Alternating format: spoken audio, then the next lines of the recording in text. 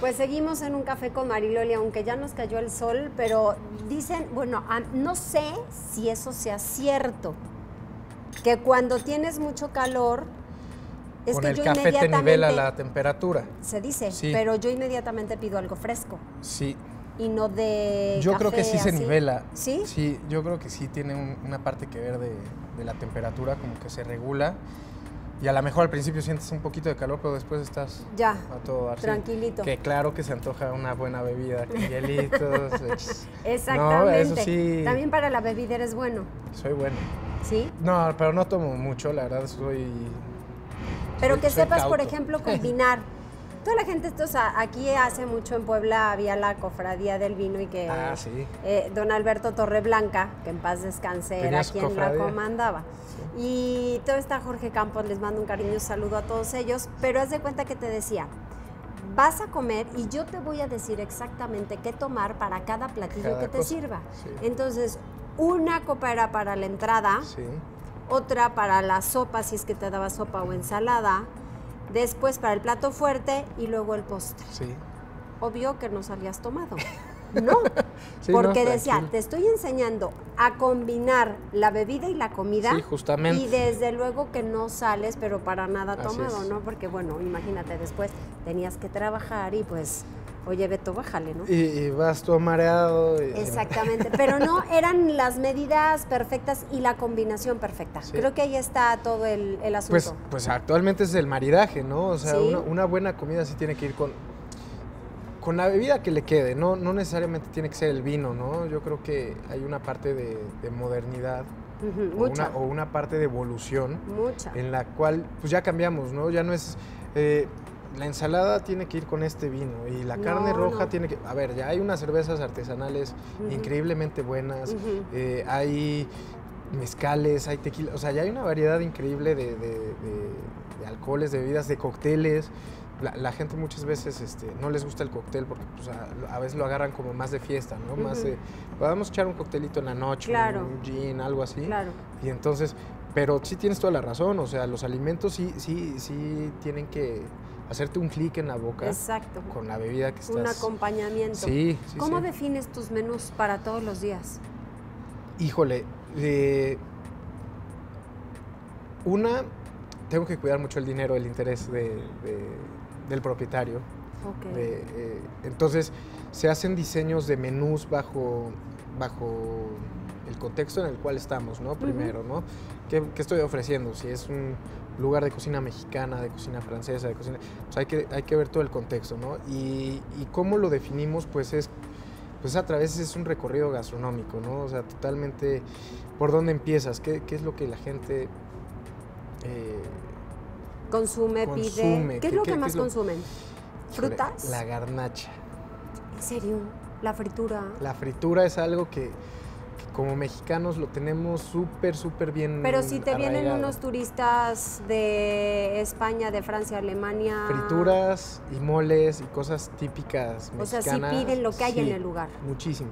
Con los que cuestan a veces un poco son con los, con los asiáticos, son un poco más, más, este, más rígidos en su estructura y no salen mucho de... Un japonés te dice, yo quiero un huevo revuelto, no le pongas nada, quiero un huevo revuelto y te pide a lo mejor salmón, algún eh, pescado fresco, pero no se salen de su... O sea, no les interesa comer este, una memela, ¿no? Una quesadilla de huitlacoche. O sea, como que son mucho más, más este, ordenados en ese sentido, ¿no? No, no se salen de lo, ¿Frutas? de lo que es. Frutas muchísimo, los extranjeros ¿Cuál comen- es la fruta que más consumen? Híjole, yo creo que las manzanas. ¿Las manzanas? Yo creo que sí, las manzanas. Eh, les gusta mucho el melón. Bueno, un japonés con un melón, aquí es claro que multimillonario, ¿no? O sea, imagínate, en Japón llegan y los arreglos de, de bodas, los regalos de bodas, pues son melones cuadrados y son carísimos, o sea, son miles y miles de, de- pesos en un melón, Sí. ¿no? Entonces aquí, claro, que llega un asiático y se le abren los ojitos. Claro, sí. Ya de se le abren. sí, ¿no? Entonces- Y si nos ven. Y, y claro, que, entonces, este, sí, la verdad es que les gusta mucho la fruta. Tenemos el mejor país para todo el tipo de fruta. Sí, O sea, sí, la verdad es que sí, somos riquísimos en, en productos de En, campo en y todo demás. sentido, ¿eh? Tenemos lo mejor de lo mejor. ¿Tú eres melindroso? No, Nada. ¿No? ¿Todo nada. te gusta? Todo. Ah, habrá, hay una cosa que sí no me gusta, que es el pepinillo. Lo- no, no, nomás no. ¿No puedes con él? No puedo con él, pero de ahí en fuera todo. O sea, pero sí es, es curioso. Pero sí, no, en realidad crecí y es, es lo que hay. Te comes esto y decía así. Y lo pruebas. Y cuando no, lo hacía. ¿Cuál es el producto que más te gusta consumir y con el que más te gusta cocinar? La Mira, cebolla, tengo, aunque yo... tengo, tengo dos, dos cosas que, que en mi cocina mis chavos me dicen, ya sé qué le vas a poner, chef. El tomillo es uno Ok, y el ajo. El ajo. ¿no? Esas dos creo que son las, las dos cosas más importantes. Todavía no me los tatúo, pero me los voy a tatuar por algún lado. Ajá. Pero, pero sí me han acompañado mucho, mucho tiempo en mi vida. Y sí, y sí creo que son de las cosas que más combinan con todo. Digo, no le voy a poner a una ensalada de melón, bueno, una, una copa de frutas, pues tomillo, ¿verdad? Pero sí es muy importante en la cocina.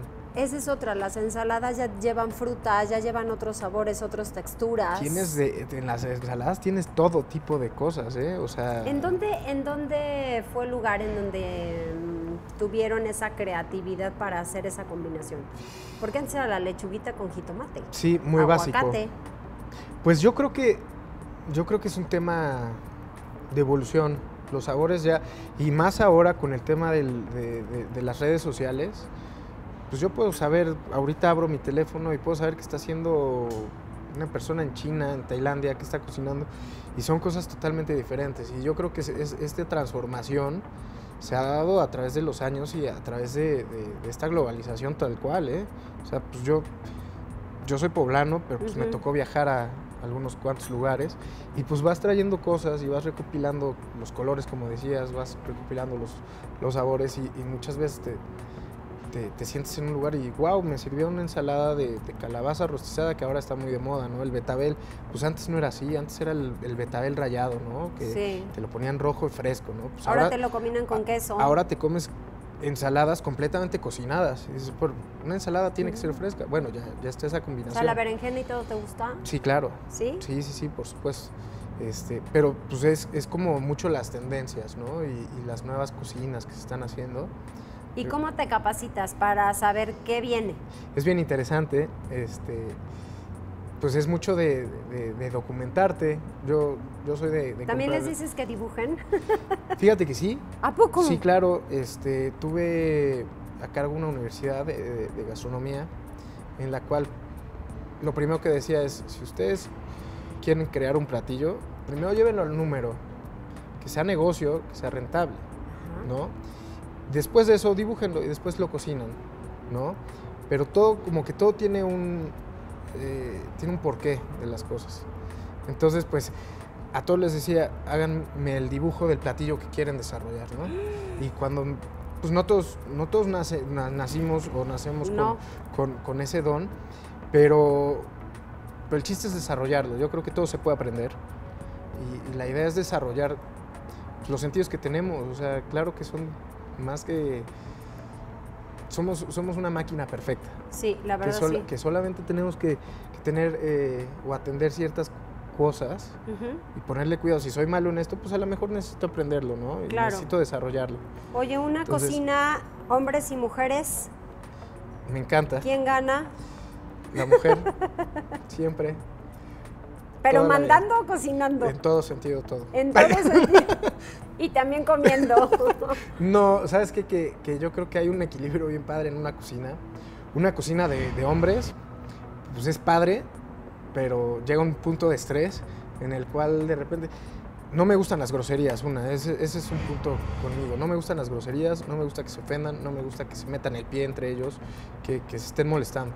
Y una cocina de puros hombres normalmente es como el bullying, es como... Ay, no han Como- acabado un día como- así como de te aviento el. No, no, fíjate que yo soy de los El que pastel. no me gustan las Y el groserías. betún. Mira, teniendo, teniendo groserías fuera, tienes como algo saludable, como un respeto. Sí, la convivencia sana. En el momento en que entran las mujeres a una cocina, pues el respeto es el doble, ¿no? Entonces, yo siempre le he dado mucho valor a, a esta parte. Y pues tenemos que, que tener un equilibrio en la cocina con las mujeres sí o sí. O sea, y la mujer es súper importante ahí. ¿Qué son? Entonces- ¿Más ordenadas? Tienen, sí, fíjate que sí, tienen como una mentalidad mucho más, más cuadrada.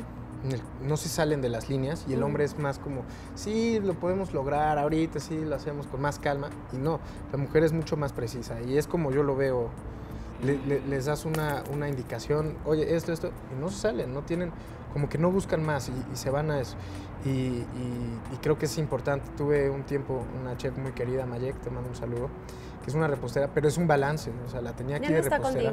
Ya no está conmigo, ¿Y a dónde se nos Este, fue? pues anda con sus negocios y la verdad le, le va Ah, muy mira. bien. Y este, pero es un equilibrio bien padre, ¿no? Sí. Este, ahorita tengo una supervisora que es súper fuerte. Y, y- saludos, y porque es muy saludos ahí. linda muchachita Ahí ella. es una linda, una linda chava, eh, se llama Mildred. Y, y la verdad es que ella también me ayuda. Tengo un chef, eh, un subchef que, que también es, es un pan de Dios. Entonces no le. No, muchacho, no. te gana Mildred. Sí, sí, no, pero no, pero tiene una parte de rigidez. en- Es que ahí está el eso, equilibrio. Y ahí está el equilibrio. Y- Y, Claro. tengo una chava en comedor de empleados que también eh, la, la- la- la quiero muchísimo porque se ha entregado mucho, se llama Ashley. Y, este, y está padrísimo, pero, pero lleva 200 personas diarias de comida. Órale. ¿no? Y cocina padrísimo. Y entonces cuando la ves en la cocina contra, contra todos los chavos que traen experiencias y traen años de cocinar en hoteles y en restaurantes Sí. y, y traen toda la batalla, y cuando ven que, que los están comandando las chavas y jóvenes y que no se quedan así como que, ay, no dicen nada y al contrario, acá Ay. están muy bien las, las Oye, cosas. Josecito, pues todavía no se me termina el café. ¿Nos podemos pues- tomar otro? Claro que sí. Órale, pues, pues entonces ya está, ni se diga más para la próxima, un café con Mariloli. Para el próximo, y miren, Claro cómo sí. se organiza una cocina. Eso está padrísimo. Pues tienen que venir. A la próxima. Así Gracias. es. No, muchas gracias a ti, Mariloli.